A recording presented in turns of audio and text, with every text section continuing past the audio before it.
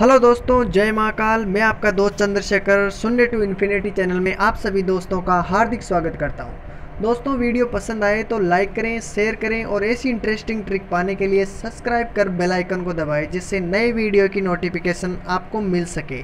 दोस्तों, वीडियो पूरा ज़रूर देखें, जिससे आगे आने वाले राजस्थान के जितने भी एग्ज़ाम हैं, पटवारी हुआ वनपाल वन रक्षक high court Rajasthan SI Rajasthan police जितने आएँगे, जिसमें राजस्थान जी के आएगी तो कन परम है कि उनमें आपको ये बहुत हेल्प मिलेगी दोस्तों।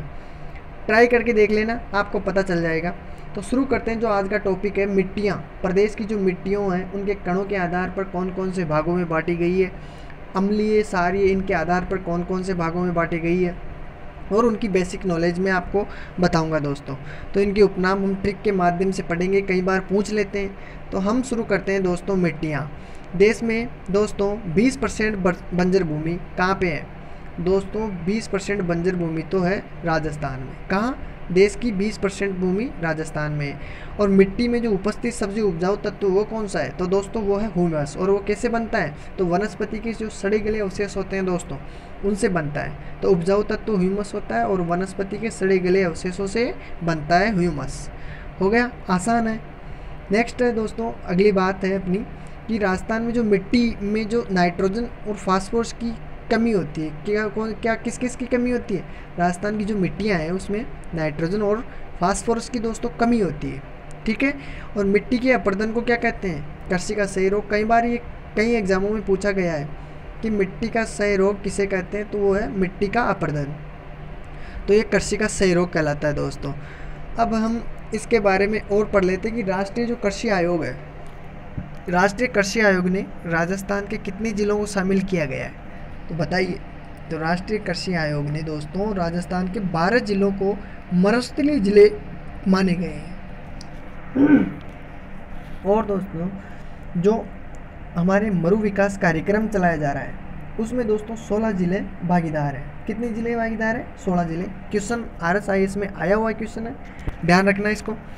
और इसमें दोस्तों कितनी परसेंट भागीदारी केंद्र की है और कितनी परसेंट भागीदारी राज्य सरकार की है? तो पचहत्तर परसेंट केंद्र सरकार की है और पच्चीस प्रतिशत दोस्तों राज्य सरकार की है।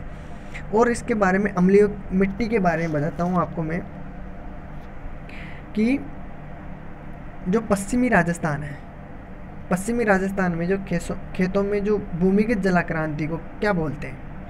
है? ये क्वेश्चन है दोस्तों, आया हुआ है कि पश्चिमी राजस्थान में खेतों में भूमिगत जलाक्रांति को क्या कहते हैं? तो उसे कहते हैं दोस्तों सेम की समस्या। क्या कहते हैं? सेम की समस्या। और पीएच के आधार पर दोस्तों, मिट्टियों को हम तीन भागों में बांटा गया है। जैसे पीएच, इसका मान सेवन होता है, वो होती है उदासीन या उपजाऊ मिट्टी दोस्तों। दूसरी है, जो सात से कम होती है, वो होती है दोस्तों, अम्लीय मिट्टी। उसमें कैल्शियम तत्व की अधिकता होती है। याद रखना, ये चीज़ें बहुत इंपॉर्टेंट है। इसका समाधान क्या है? एक तो समाधान है इसका फास्फोरस और होता है जस्ते का चूर्ण। और तीसरी मिट्टी है दोस्तों, जिसका पी एच सात से अधिक होता है, वो होती है लवणीय या सारी मिट्टी, जिसे ऊसर मिट्टी भी बोलते हैं। तीनों नाम याद रखने हैं दोस्तों। तो वो है सोडियम कार्बोनेट की अधिकता होती है इस मिट्टी में। जो सारी मिट्टी होती है उसमें। तो इसका समाधान है वही जिप्सम जिप्सम होता है, ठीक है? तो मिट्टी मिट्टी के बारे में ये बेसिक नॉलेज है। अब हम पढ़ते हैं कणों के आधार पर। जैसे अत्यंत बारीक कण हो गए, अत्यंत मोटे कण हो गए, या मध्यम के कण हो गए, उनके बारे में। उनको हम देखो जलोढ़ मिट्टी के बारे में बताऊँगा पहले मैं आपको कि जलोढ़ मिट्टी कैसी मिट्टी के कण हैं। तो दोस्तों, जले, जलोढ़ मिट्टी की बात करते हैं तो जलोढ़ मिट्टी एक मध्यम आकार के कण है।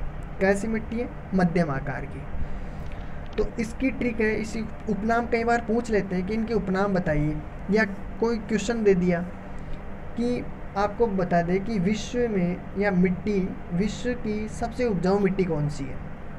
ऑप्शन मिल जाए आपको, कछारी, कपासी, अम्लीय या भूरी मिट्टी तो आप क्या जवाब दोगे दोस्तों? आपको पता है कि सबसे उपजाऊ मिट्टी जलोढ़ मिट्टी है, लेकिन अब आपको जो उपनाम दे रखे हैं, उसमें आपको पता नहीं है। तो आप क्या करोगे? ये ट्रिक याद हो जाए आपको। तो आप आराम से पता लगा सकते हो कि उपनाम में भी उपनाम में चेंज कर सकते हैं। तो मध्य, जो जलोढ़ मिट्टी है, उसका उपनाम है, कछारी मिट्टी भी बोलते हैं उसको। तो ये हो गया आपकी ट्रिक तो ट्रिक में आपको बताऊँगा कि ट्रिक में उपनाम कैसे कैसे याद रखते हैं। तो इसकी ट्रिक है कि जल का एक दो, जल का एक दो खाद बा। क्या है? जल का एक दो खाद बा। जल से याद रखना दोस्तों, जलोढ़ मिट्टी। का से याद रखना काप मिट्टी, एक से याद रखना एल्फिसोल, दो से याद रखना दोमट, खाद से खादर और बा से याद रखना दोस्तों बांगर। एक चीज़ और याद रख लेना जो का से आपको एक चीज़ और याद रखनी है, कछारी। कौन सी? कछारी। हो गई दोस्तों, ये ज़रूर याद रखना है। तो ये हो गई जलोढ़ मिट्टी की। जलोढ़ मिट्टी के बारे में मैंने आपको बता दिया है। काली मिट्टी के बारे में बताता हूँ मैं आपको कि काली मिट्टी के बारे में क्या है। काली मिट्टी की जो उपनाम है उसको बारे में कि अत्यंत बारीक कण होते हैं। कैसे होते हैं? अत्यंत बारीक कण होते हैं। ठीक है? और अत्यंत बारीक कणों को क्या कहते हैं? चीका। क्या कहलाते हैं? चीका कहलाते हैं दोस्तों ये। और इनमें सर्वाधिक लोहांश की मात्रा होती है। कौन सी मात्रा होती है? लोहांश की। और इसका रंग कैसा होता है? काली मिट्टी का काला रंग होता है। ठीक है? सर्वाधिक नाइट्रोजन पाया जाता है इसमें। ठीक है? ठीक है, अब आपको बताऊँगा मैं इसके उपनाम कौन कौन से काली मिट्टी के कौन कौन से उपनाम हैं। तो काली मिट्टी के, काली मिट्टी, कपास, रेगुर वल्टीसोल चिकनी मिट्टी, ये सभी काली मिट्टी के नाम हैं। ट्रिक है, इसकी काली कपास रे, वोल्ट चिकना है।